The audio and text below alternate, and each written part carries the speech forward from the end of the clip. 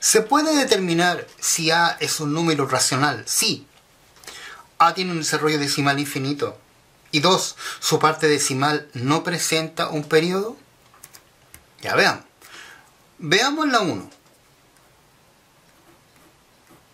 La 1 me dice que A tiene un desarrollo decimal infinito. Ah, entonces el A, yo me puedo dar dos ejemplos. Por ejemplo,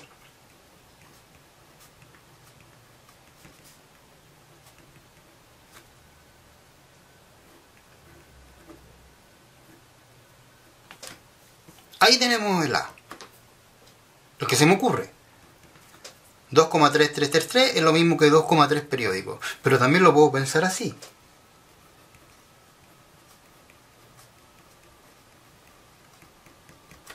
Ahí tenemos el A en el caso de dos ejemplos en que uno de ellos es un decimal infinito, pero es periódico, y el otro es un número con decimales infinitos que no es periódico. Ya, y con eso yo no puedo deducir si el número es irracional o no. Porque puedo tomar ese caso como puedo tomar ese caso.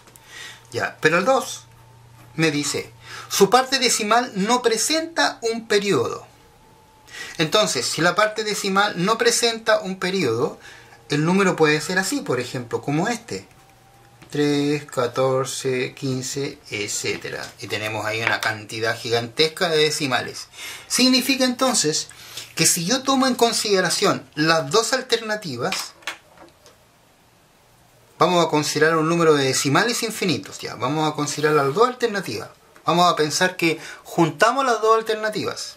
Tenemos un número de decimal infinito y su parte decimal no presenta un periodo. Ah, entonces nosotros podemos pensar un número sí. Y ahí tenemos un número que realmente es de tipo irracional. Por lo tanto, para deducir que alfa o que A es un número irracional, tenemos que juntar la 1 con la 2. Por lo tanto, son ambas juntas. Alternativa C.